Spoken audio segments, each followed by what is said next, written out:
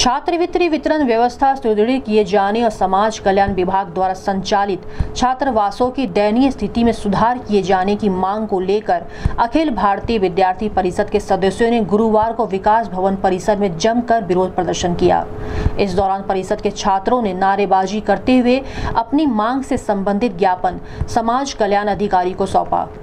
अखिल भारतीय विद्यार्थी परिषद के सदस्यों का कहना है कि समाज कल्याण विभाग द्वारा समय से छात्रवृत्ति न दिए जाने के कारण हज़ारों छात्रों को बहुत सारी परेशानियों का सामना करना पड़ रहा है। जिसके कारण उनका पठन पाठन भी बाधित हो रहा है वहीं समाज कल्याण विभाग द्वारा संचालित कई ऐसे छात्रावास हैं जहाँ व्यवस्था के नाम पर मात्र औपचारिकता ही पूरी की जा रही है जो पूर्णतः गलत है ऐसे छात्रावास को तत्काल सुदृढ़ किया जाना चाहिए गोरखपुर न्यूज़ संवाददाता से बात करते हुए परिषद के नवीन शर्मा ने कहा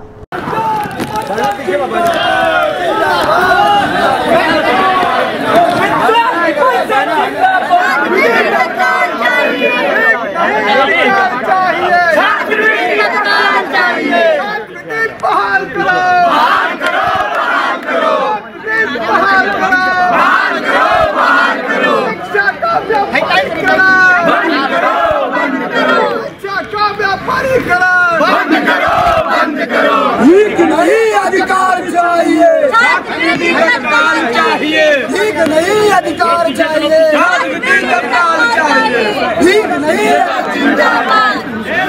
शर्मा विभाग से अखिल भारतीय विद्यार्थी परिषद विगत कई वर्षों से जो छात्रवृत्ति की समस्या है हर वर्ष ऐसा होता है कि तमाम सारे ऐसे विद्यार्थी जो मात्र छात्रवृत्ति के ही पैसों से अपनी पढ़ाई को कंटिन्यू कर पाते हैं ऐसे तमाम विद्यार्थी जो गाँव से शहर में आते हैं मात्र छात्रवृत्ति के सहारे यहाँ पढ़ते हैं हॉस्टल में जो सरकार द्वारा सुविधाएँ मिल रही हैं उसके ही द्वारा पढ़ पाते हैं। ऐसे छात्रों छात्र छात्राओं को सरकार द्वारा छात्रवृत्ति नहीं मिल रही है। इन मांगों को लेकर विद्यार्थी परिषद लगातार मांग कर रही थी सरकार से, लेकिन आज अखिल भारतीय विद्यार्थी परिषद देशव्यापी अभियान चलाकर पूरे देश में आज जिला केंद्रों पे छात्रवृत्ति को लेकर एक देशव्यापी आंदोलन खड़ा की है। हर जिला केंद्र पे समाज कल्याण अधिकारी के यहाँ प्रदर्शन कर रही है।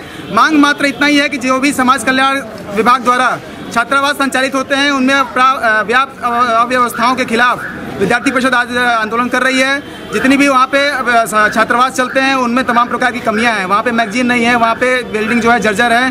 खाने की व्यवस्था नहीं है पढ़ने के लिए अच्छी पुस्तकें नहीं उपलब्ध होती हैं। इस प्रकार की जितनी समस्याएँ हैं उसको लेकर विद्यार्थी परिषद आज यहाँ आंदोलन कर रही है। साथ ही छात्रवृत्ति और शोध के जो छात्र हैं उन्हें भी छात्रवृत्ति नहीं मिलती है। किसके भरोसे वो शोध करेंगे? मात्र एक, एक इस तरह का बना दिया गया है कि शोध में प्रवेश लो और केवल प्रवेश एडमिशन लेके पढ़ाई पूरी करो। तो बिना शोध में पैसा नहीं मिलेगा तो छात्र पढ़ाई अपनी जारी नहीं कर पाएँगे। इसी को लेकर विद्यार्थी परिषद आज मांग कर रही है।